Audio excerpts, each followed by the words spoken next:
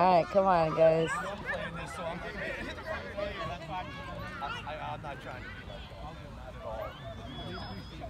Oh, get that, James!